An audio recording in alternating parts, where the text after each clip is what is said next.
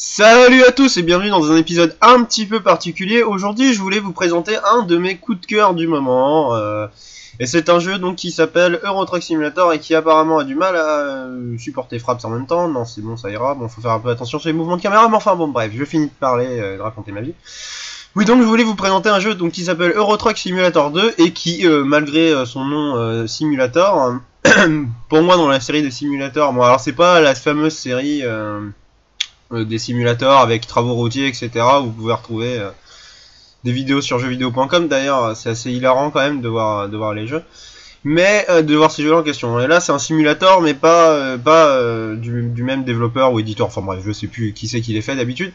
Mais enfin bon, bref. Et euh, moi, je, moi, j'ai été très longtemps, enfin, je suis toujours un féru de simulation, mais de bonnes simulations. Hein. Je vais pas jouer à travaux routiers simulator ou à tunnelier simulator ou à je ne sais encore quoi. Mais euh, ouais, la bonne simulation, j'adore. J'ai très longtemps joué à Flight Simulator par ailleurs. Et euh, j'ai voulu tester ce jeu euh, comme ça. Et euh, et, euh, et ben, il s'avère que c'est vachement bien en fait. Euh, c'est vachement réaliste et un super jeu de camion quoi. Et c'est dommage qu'il n'y ait pas de jeu comme ça pour pour d'autres formes de pour d'autres formes hein, tout simplement du genre je sais pas moi les voitures ou quoi que ce soit. Enfin bref. Donc le but du jeu c'est quoi? Bah le but du jeu c'est tout simplement de euh, c'est tout simplement de réaliser des missions et de gagner de l'argent et euh, de gérer son business un peu. Donc pourquoi gérer son business? Parce qu'en fait, bah, on peut avoir des employés. Alors j'irai pas dans je suis désolé mais j'irai pas dans le menu principal euh, aujourd'hui parce que j'irai pas dans le menu start aujourd'hui parce que sinon vous sinon sinon vous verrez mon nom et je préfère rester anonyme, c'est personnel hein. Et euh, et ouais, ouais, ouais, ouais, ouais. Donc c'est vachement bien et donc on va commencer. Euh, donc on, on allume le moteur, bam, on appuie sur E. Donc je joue euh, toujours avec ma manette PS3 émulée Xbox. Et, euh, et on peut avancer comme ça, donc vous voyez j'avance, tac. Voilà, et je sors de mon garage. Et donc il va falloir que j'aille chercher une mission. Donc il y a les clignotants, donc là vous voyez j'ai mis mon clignotant à gauche, hein. je suis dans un parking mais on met quand même les clignotants. Et on fait attention, donc je suis un petit peu devenu bon, hein, donc euh, voilà. Après je risque de me cracher à tout moment. Et surtout, et c'est ça qui est le plus intéressant parce qu'en réalité d'un jeu comme ça on se demande ok c'est un jeu de, de simulation mais est-ce que le code de la route est respecté? Oui le code de la route est respecté et c'est ça qui est bien. Donc là j'ai un CD le passage, faut que je fasse attention. Oui le code de la route est respecté et c'est ça qui est euh, ça qui est génial en soi. Alors là vous voyez j'ai un peu un peu sec donc je suis sur le trottoir. C'est ça qui est génial en fait, c'est justement euh, que euh, cette notion de code de la route soit respectée. Si je grille le feu, je me mange une amende de 450 euros. Il faut savoir qu'une mission rapporte environ, une mission de base, de début de jeu, rapporte environ 6000 euros. Et donc vous avez des aptitudes à débloquer. Mais je vais revenir dessus, donc en fait, bah tout simplement je vais faire une mission aujourd'hui.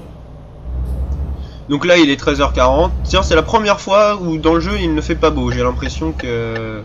Normalement il peut pleuvoir, moi j'ai jamais été... euh, Jamais été victime de ça, mais normalement il peut pleuvoir. Alors le problème de camion c'est que vous voyez au niveau de la reprise c'est un peu tendu. Bon alors je tourne à gauche, donc on révise le code de la route. Quand on tourne à gauche, on se met sur la file de gauche et ensuite on se rabat sur la droite pour sortir. Voilà. Et, euh, et donc je vais tourner tout de suite et aller là où je peux aller chercher mes missions. Donc vous voyez sur le radar il y a un truc pour un petit icône d'entreprise en quelque sorte et je peux aller chercher mes missions là-bas. Voilà, tout simplement. Donc on y va et donc ce qu'on fait c'est qu'on se met sur euh, le nom de la compagnie là, voilà, de, l'entreprise. On appuie sur entrée et on choisit euh, l'offre qu'il y a. Donc par exemple un Paris-Lille pour des pièces automobiles. Je prends, en temps normal j'aurais été voir s'il n'y avait pas mieux. Mais là je vais prendre parce que euh, parce que je tourne la vidéo. Donc ça va me rapporter 6279 euros pour un euh, rapport qualité kilomètre j'ai envie de dire. Pour une moyenne par kilomètre de 23,96 euros. Donc en fait c'est ça le plus important, hein, c'est la moyenne kilométrique. Quand on vous propose plusieurs missions, il y en a une qui vous rapporte plus, toujours regardez le rapport kilométrique parce qu'au final, euh, au final euh, c'est ça qui nous intéresse. Donc, bah ensuite qu'est-ce qu'on a ça? Bah le patron de la boîte il nous autorise à aller chercher la remorque. Donc on va chercher la remorque et c'est après que ça va devenir plus intéressant parce que euh, vous allez voir que les remorques bah c'est vachement bien géré, hein, la physique est vachement bonne. Hop là. Tac. Donc je me mets en mode de... Je me mets... Je me mets en reculant. Je passe mon... Alors voyez, la vue intérieure est géniale. Vraiment, le fait de pouvoir passer la tête comme ça et de regarder derrière, c'est franchement c'est ouf. Et je vous montrerai les différentes vues qu'il y a quand on sera euh, plus, loin. Voilà, donc là j'y suis, j'attelle ma remorque. Et maintenant je peux repartir avec, et on y va, donc on braque à fond, et let's go. Alors je m'y connais absolument pas en camion, hein, c'est pas, euh, pas du tout mon univers, mais euh, je reconnais juste que le jeu est bon. Et voilà, ah, il pleut Et bah, et franchement, extraordinaire, c'est la première fois depuis que je joue au jeu, et j'ai dû jouer à peu près une quinzaine d'heures, qu'il pleut. Donc on met les essuie-glaces. Yeah Stylé Cool Génial. Ok, donc je suis dehors. Euh, j'ai allumé mes feux ou pas? Ouais. Voilà. Et voilà, donc vous avez les feux, vous pouvez mettre les feux de route. Et détail hyper intéressant, quand vous êtes sur la nationale et que c'est la nuit et que vous allumez les feux de route en face des voitures, et ben les voitures en face vous font des appels de phare pour que vous les coupiez. Et alors ça c'est le détail qui tue. Le détail qui tue. Et donc on va à l'île, donc on va à droite, donc je sais pas ce que j'ai attendu. Et là, comme vous voyez, on a la remorque, on va faire attention de ne pas accrocher au portail, donc on a notre rétro là-bas, et on regarde dedans. Vous voyez, là, tu vois, je suis un petit peu juste déjà. Alors attendez, je suis un petit peu bête en fait. Parce qu'en réalité, il y a une astuce. Il faut juste que je la retrouve. Alors fuck, je sais plus comment faire. Euh, comment on fait ça? Bon, je vais m'arrêter au milieu de la route, c'est pas grave. Euh, je crois que c'est là. Voilà, c'est bon. Vous voyez, j'ai mis mon rétro, euh, j'ai mis mon rétro droite plus simplifié et en plus gros sur le côté parce qu'il faut dire que sinon c'est un peu compliqué d'aller le chercher là-bas quoi. Donc ça c'est bien. Alors en revanche la pluie ça fait que euh, avec frappe j'ai une sacrée chute d'images par seconde, mais enfin c'est pas grave. Et pour ceux qui vivent à, Paris, la capitale, et bah écoutez, à côté de chez moi, j'ai ces deux tours, les Mercuriales, et ça fait plaisir de, les retrouver hein, dans le jeu. Là, c'est à côté de chez moi en plus. À une porte ou deux de périph. Voilà, alors attendez, téléphone, je dois répondre, je reviens tout de suite. Euh, alors, on reprend. Et donc, il faut bien respecter le code de la route, et vous voyez que nous sommes en France, et donc, euh, il faut faire attention au radar. Au radar, euh, au radar qui sont là, vous voyez, ils sont en haut, alors c'est les radars, les nouvelles générations, là, ceux qui sont en hauteur, machin, je sais pas quoi. Et donc faut respecter euh, bien tous ces codes de la route parce que pareil sinon et eh ben, je vais me prendre... Euh, oh la pluie là quand on est dans le tunnel c'est vachement bien géré. Sinon et eh bien je vais me prendre un euh, encore une amende et mine de rien ça va vite. Hein. À coût de 300 euros par amende à peu près ça va ça va très très vite. Donc on va tourner à droite pour aller à Lille, vous voyez. Donc je sais pas pourquoi, mais pour aller à Lille, c'est vrai qu'il faut prendre la nationale. Alors pourquoi, je sais pas trop. Donc il pleut, donc je vais faire attention à ma remorque quand même. Il y a même de l'orage.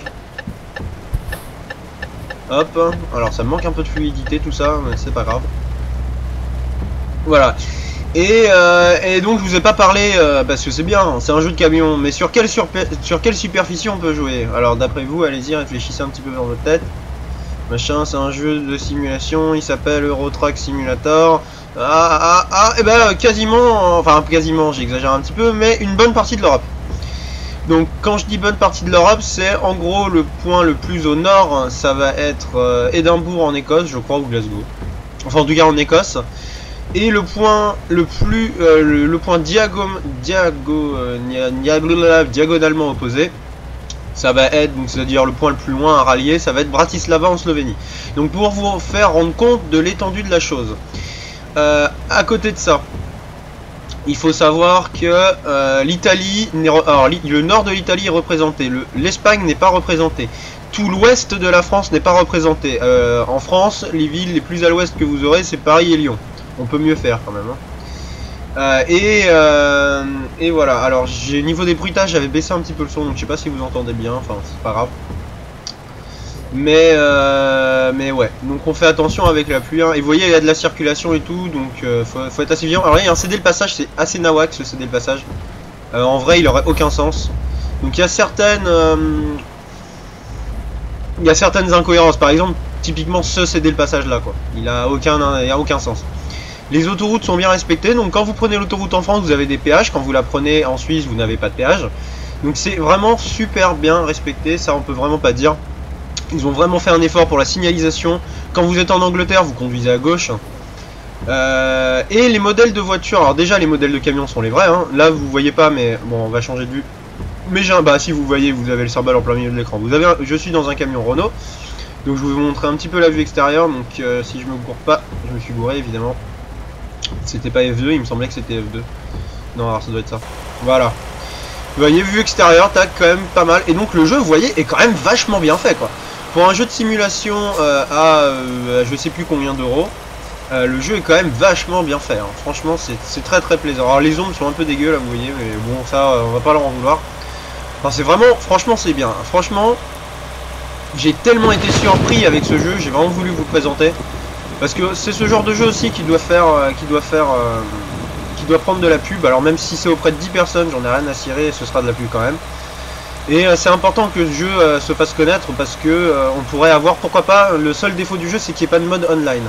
Et donc ce qu'il faudrait c'est qu'un mode online apparaisse ou dans le prochain. Et ça, ça pourrait vraiment être génial. Donc on a plein de vues différentes, je vais pas toutes vous les montrer. Mais ouais, donc on fait la mission, donc c'est 90, la limitation, évidemment quand il pleut normalement c'est 80.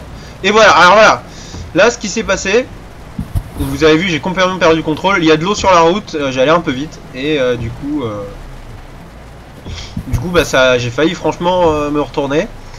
Donc il faut faire gaffe quand même, il faut faire vraiment attention. pareil, parfois il m'est arrivé de faire des dépassements, donc vous voyez il y avait un passage à niveau, c'était pas mal. Parfois il m'est arrivé de faire des, des, places, ah, des dépassements assez... Euh, comment dire? Des dépassements assez euh, compliqués, assez tendus, c'est-à-dire je me suis dit ouais vas-y on est dans le jeu, je double en virage. ne jamais faire ça, même dans le jeu. c'est pas une bonne idée. Hein. Il faut savoir que quand vous vous mangez une voiture, certes vous n'êtes pas mort, mais, alors le mec en face est mort même si on le sait pas. Vous vous êtes peut-être pas mort, mais en revanche il y a de gros dégâts sur euh, votre camion et sur la marchandise. Dégâts sur le camion, dit réparation. Faut faire des réparations parce que sinon vous allez rester en plein milieu de la route, le moteur va, lâcher à tout moment. Donc là je me fais dépasser. Sinon euh, votre moteur va lâcher à tout moment et, euh, euh, c'est pas bon quoi. Après vous prenez du retard sur la livraison et les réparations coûtent très cher. En gros, typiquement, si vous abîmez votre camion à 20%, ce qui correspond à un, accident, moyen plus, j'ai envie de dire, moyen grave, euh, ouais, bah là il faut que vous comptiez, euh, faut bien compter dans les 10 000 euros, au moins 10 000 euros de réparation. Donc c'est-à-dire plus d'une journée foutue en l'air. Il faut savoir qu'en plus de ça, pour ouvrir votre entreprise et pour acheter votre camion, je reviendrai plus tard sur la fatigue. Euh, pour acheter votre camion, vous devez emprunter à une banque. Moi j'ai des crédits à rembourser. Je dois rembourser environ 6 000 par jour. Euh, donc si je commence à faire des accidents et tout, je peux plus rembourser. Hein. Surtout que mes, euh, mes salariés... Alors là, je vais avoir un accident. Ouh, c'était juste. Mes salariés sont très gourmands, si j'ai envie de dire. C'est-à-dire qu'ils vont pas me rapporter beaucoup par mission parce qu'ils ont un gros salaire. Tu veux pas dégager, toi? Je le klaxonne. Dégage, appel de phare. Je suis un chauffeur, moi. Et ouais, il faut bien savoir que voilà, les, vos, salariés vont prendre un salaire. Et donc, ça les missions vont plus vous rapporter 6000 euros. Hein plutôt dans les 1000, 2000 euros, parce qu'en plus il prend une prime au kilomètre. Donc ça renforce euh, ce côté, euh, ce côté tendu. Ensuite, donc il faut que je me repose. Donc pourquoi il faut que je me repose? Bah parce que tout bon, comme tout bon camionneur, il faut que je fasse des pauses. Si je fais pas mes pauses, je ne sais pas ce qui se passe, ça m'est jamais arrivé. Euh, dès qu'il y a écrit je suis fatigué, moi je vais faire les pauses. Et vous voyez sur le radar que vous avez, ah bah même pas sur le radar, sur le panneau, un parking et une station service à 200 mètres. Donc je vais faire ça. Et par la même occasion, je ferai l'essence. Alors, il faut que j'y aille. Ah, je peux pas tourner à gauche. Ouais, c'est ça, ouais. Ah oui, mais j'ai le droit ici. Voilà. Les personnes qui arrivent en face, c'est bon. Alors, le problème, c'est qu'avec la pluie, le camion a du mal à freiner. Donc ça, c'est super bien respecté. Hein. En fonction des matériaux que vous transportez... C'est bon, ça passe.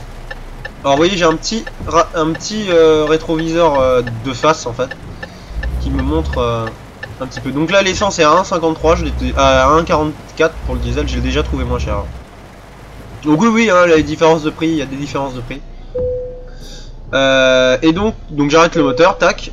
Et ensuite, j'appuie et je maintiens la touche. Donc c'était juste pour les besoins hein, de la vidéo que je montrais, parce qu'en réalité, j'en avais pas besoin.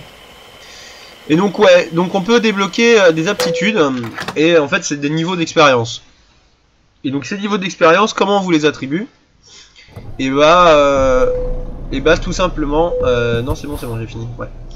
Et comment on vous les attribue ces niveaux d'aptitude Bah en fonction des missions que vous faites, vous gagnez de l'expérience. Et cette expérience vous permet d'acheter donc ce qu'on appelle des, bah, des niveaux quoi. Comme un peu euh, l'arbre de spécialité dans WoW quoi. Euh, bon j'exagère un peu mais dans l'idée c'est ça. Donc là je vais faire ma pause. Voilà. Et on va repartir en pleine nuit, et donc c'est bien, comme ça je vais pouvoir vous montrer euh, l'histoire des... euh, Ça passe ou pas? Ouais, ça passe. Je vais pouvoir vous montrer l'histoire des... euh,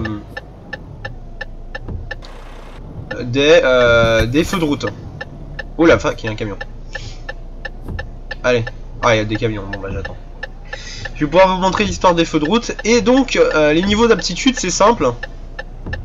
En gros, euh, faut considérer... Vous avez 6 catégories, je crois, ou 7. Donc vous avez une catégorie économie d'essence. Donc en gros, vous pouvez économiser... Si vous allez jusqu'au niveau 6, donc il y a 6 niveaux par catégorie. euh, vous pouvez euh, économiser 35% d'essence, ce qui est énorme. Donc euh, moi, personnellement, bah, je suis arrivé au niveau 6, donc à 35%. Et ouais, bah écoute, t'attendras mon coco, hein, c'est pas grave, hein, il faut bien que je passe aussi. Donc je fais gaffe avec ma remorque de pas l'accrocher, c'est bon. Et euh, on met les feux de route. Et donc, euh, et donc ouais. Euh, désolé, j'étais un petit peu occupé pour passer la route. Qu'est-ce que je disais? Oui, donc on peut économiser. Ah, regardez, appel de phare normalement. Alors vas-y, tu. Voilà, vous voyez, il m'a fait un appel de phare. Voilà, encore un là. Euh, et ça, je trouve ça génial.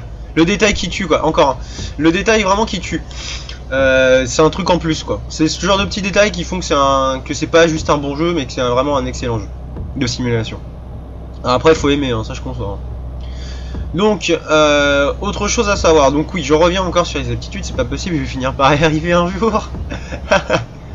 donc en gros, je me fais dépasser. Et euh, ouais, donc en gros, vous avez aussi des trucs genre cargaison fragile. Donc vous pouvez transporter des cargaisons fragiles. Vous avez un truc cargaison dangereuse, donc euh, des explosifs, des, euh, des liquides corrosifs, enfin tout ce que vous voulez, quoi, les cargaisons les plus dangereuses qui existent. Et euh, vous avez aussi des trucs genre livraison rapide, donc vous débloquez les livraisons express, et donc vous devez livrer ça le plus vite possible. Et surtout, et ce qui est le plus intéressant dans le jeu, c'est qu'au début du jeu, vous pouvez pas faire une mission qui vous emmène au bout de l'Europe. Au début, vous êtes restreint à un rayon d'environ 250-300 km. Et pour faire des livraisons dans tout le reste de l'Europe, eh bien vous devez euh, débloquer ces aptitudes. Vous devez monter l'aptitude euh, long trajet. Et donc ça vous permettra à la fin du jeu de faire des missions sur toute l'Europe. Il faut savoir que les cargaisons fragiles, les cargaisons d'objets dangereux euh, rapportent beaucoup plus d'argent que les autres. C'est normal, c'est plus dangereux, il y a un risque, hein, donc ça rapporte plus. Donc ça c'est intéressant. Et ce qui est le plus intéressant, c'est les missions ville à ville. Donc c'est-à-dire par exemple si vous avez une mission Paris-Paris ou Lille-Lille ou Dijon-Dijon par exemple. Donc là c'est un peu ça bouchonne là. Euh, parce que ça, bah, ça rapporte pas beaucoup d'argent, certes, ça rapporte pas d'expérience, mais euh, le rapport kilométrique est énorme. C'est-à-dire que vous gagnez 600 euros, je crois, donc euh, c'est un rapport kilométrique multiplié par 3. Des choses comme ça, c'est très très intéressant. Alors il y en a rarement, hein, euh, c'est pas souvent, mais c'est intéressant, mais ça, ça a strictement aucun intérêt sinon. C'est juste financièrement, ça peut être pas mal de s'ajouter, voilà, vous pouvez vous rembourser une amende que vous venez de vous prendre, bam, vous faites la mission quoi. C'est mieux. Et donc oui, euh, je reviens sur les dégâts, je vous avais parlé d'abîmer euh, la, truc, mais vous pouvez abîmer la cargaison. Et donc si vous abîmez la cargaison, il se passe quoi? Et ben il se passe tout simplement que... que et ben, vous aurez moins d'argent à la livraison et un rang de mission moins élevé. Donc ça m'est déjà arrivé d'avoir très bon la place d'excellent parce qu'à un moment, euh, une voiture est restée bloquée sur euh, la route parce que j'avais eu un accident avec elle, donc déjà j'avais bien commencé, hein, je suis d'accord. Qu'est-ce qu'il fait là lui? Alors lui, vous voyez, il a entamé un, dépassement en plein virage sur ligne blanche et bah le gars il a failli se prendre un camion en pleine face. Euh, et l'ordi respecte aussi très bien le code de la route, alors parfois il est un peu... euh, par exemple sur les changements de vitesse, quand ça passe de, 60, de 130 par exemple euh, à euh, 70, il va faire 130-70 mais direct quoi. Il arrive au panneau, bam, et il freine. Mais il pile quoi. Il pile jusqu'à être à 70. Ridicule. Mais euh, bon, euh, c'est une petite erreur, mais c'est pas non plus grand chose. Pour ce qui est de la, pour ce qui est des distances. Donc là, je fais un peu, euh, je fais pas un test, hein, mais je vous, en, je vous parle du jeu. Pour ce qui est des distances, et bah, euh, on va pas faire évidemment le vrai Paris-Lille. hein. Je vous ai pas emmené dans un voyage de 5 heures ou 6 heures. Donc en fait, ce qui se passe, c'est que vous avez le vrai temps et les vrais kilométrages en bas à droite. Mais, alors là, vous voyez, pour esquiver, je vais être obligé de me mettre un petit peu sur le côté. Aïe, euh, j'ai touché, j'ai défoncé un panneau. Ouais, bon, c'est pas grave. et euh, oui, donc. Attendez, je tourne. Voilà. Donc euh, la vraie heure est mise en bas à droite, vous voyez sur le GPS. Vous avez le nombre de kilomètres, euh, le, vrai nombre de kilomètres et le vrai nombre de minutes théoriques. Mais en réalité, tout est divisé par 10. Donc en fait, une, une heure dans le jeu, c'est 6 minutes. Tout simplement. Euh, une heure dans le jeu, c'est 6 minutes. Et 10 km, c'est 10 minutes. Voilà. 10 km, c'est 10, 10 minutes. 10 km, c'est 1 km dans le jeu. Voilà. C'est ça qu'il faut, euh, qu'il faut bien se rendre compte. C'est, euh, enfin voilà. Donc vous avez le compteur kilométrique sur mon camion. Je sais pas si en 720p vous le verrez, mais il a écrit 5363 km. Donc si j'avais fait ces vrais kilomètres en vrai, j'en aurais en réalité fait que 536,4. Enfin 3 ou 5 maintenant. Mais bon. Voilà, vous avez compris l'idée. Alors là, je vais prendre un peu l'autoroute. Donc c'est bien, on aura un peu tout vu. Alors les entrées d'autoroute sont un peu mal faites, vous avez mangé le panneau aussi. Voilà, et je me suis pris quand même, avec un petit choc contre un panneau, céder le passage, je me suis pris 3% de dégâts. Donc vous vous rendez compte ce que ça fait quand vous vous mangez la rambarde de sécurité quoi. Donc, euh, donc bon. Voilà, il faut faire, il faut faire attention. Donc là, hop, on a un cédé le passage, donc on regarde, il a personne, on y va. Les entrées d'autoroute sont un peu brutales aussi, mais bon, c'est pas très grave c'est pas très important. Il y aurait quelques petits trucs à revoir, mais on peut pas, on peut pas. Il y a un tel boulot immense pour respecter toutes les signalisations, euh, offrir des tonnes de modèles de camions parce qu'il y en a vraiment beaucoup. Euh, la diversité des, livraisons et des cargaisons et la physique qui est associée. Vous livrez parfois euh, des, oranges, parfois vous livrez des bananes, parfois vous livrez des jouets pour enfants, enfin des jouets, des jouets quoi. Parfois vous livrez des pièces auto, parfois vous livrez des, des lingots. Enfin voilà, il y a vraiment une tonne de cargaison et en fonction vraiment de la cargaison, la physique derrière la remorque va être vraiment différente et les freinages seront pas les mêmes du tout. Et c'est bien ça qu'il faut se mettre dans la tête et c'est ça qui est complètement énorme. Moi je trouve que c'est complètement c'est complètement génial. Voilà, donc là je vais tourner à, gauche, on arrive bientôt au bout de notre épisode, enfin de notre mission donc de notre épisode. Et, euh, et, euh, et, voilà. Mais ouais, vraiment très excellent jeu. Faut vraiment pas se dire oh là là, un jeu de camion, euh, c'est quoi ça, machin, etc. Non non, vraiment c'est bien. Vraiment c'est vraiment excellent. je peux pas dire autre chose. Pour tous les fans de simulation, je vous conseille vraiment de l'acheter. c'est vraiment mon coup de cœur de l'automne. je joue quasiment qu'aux jeux, faut vraiment le dire. Je joue qu'aux jeux sur lesquels je vous fais des vidéos.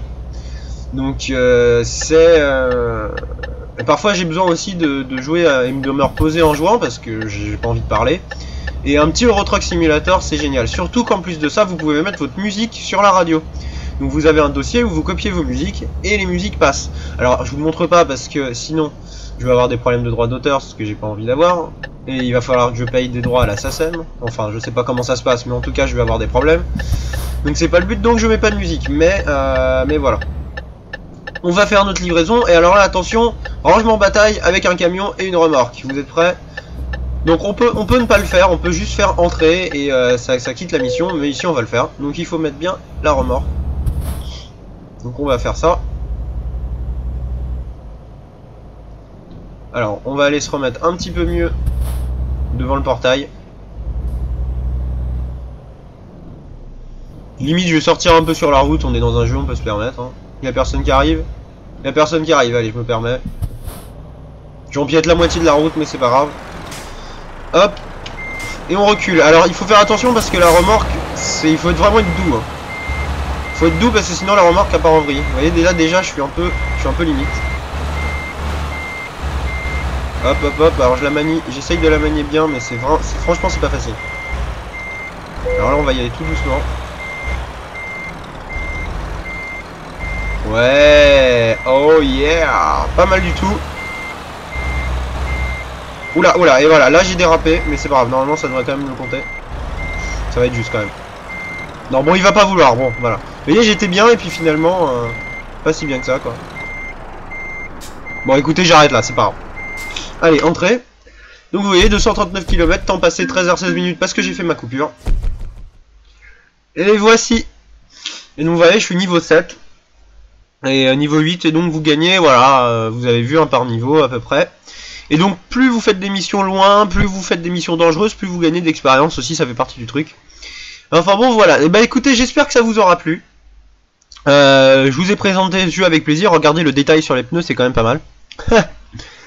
Et, bon bah si vous avez aimé, écoutez, n'hésitez pas à vous abonner, hein, au cas où vous ne seriez pas déjà. N'hésitez pas à aller voir mes autres vidéos parce que là c'est hors série je ferai rien d'autre dessus. C'était juste une petite vidéo de présentation. Et euh, écoutez, moi je vous dis à la prochaine. Merci pour tout le soutien, merci pour tous les conseils encore. Et on se retrouve pour euh, les séries toujours en cours. Donc je rappelle euh, qui elles sont Crusader Kings, Assassin's Creed, Hitman et Football Manager. Allez, salut salut à tous, bonne journée à vous.